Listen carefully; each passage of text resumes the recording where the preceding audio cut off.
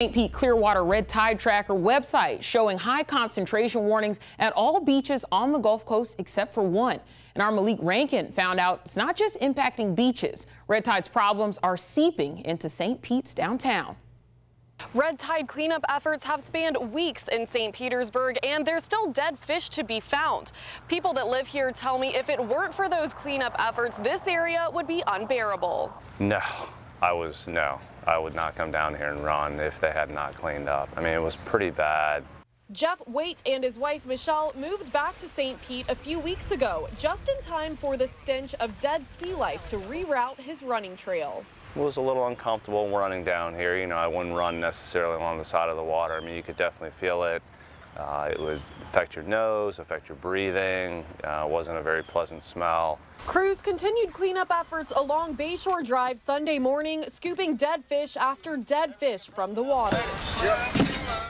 But right now, it looks really good compared to where, what it was uh, a couple of days ago and even a week ago. The Waites tell me the crews have been out here every day. It's been amazing. And it's made all the difference in their daily running route. Just a little bit of relief there. Well, if you're planning to enjoy a day on the beach, we have the tools you need to plan your trip on 10tampabay.com. Meteorologist Rick Kirby joining us now with the first look at weather. Rick, you also get daily updates about red yeah. tide.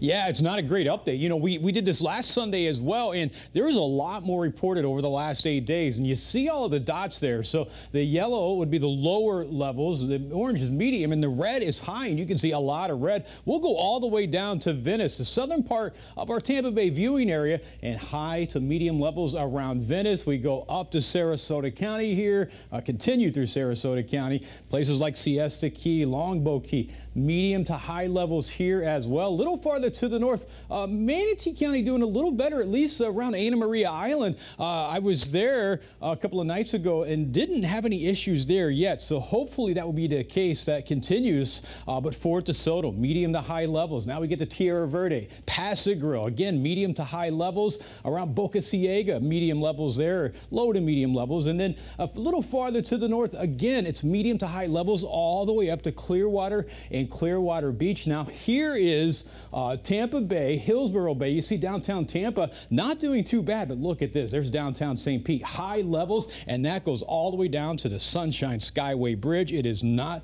a pretty sight in many locations.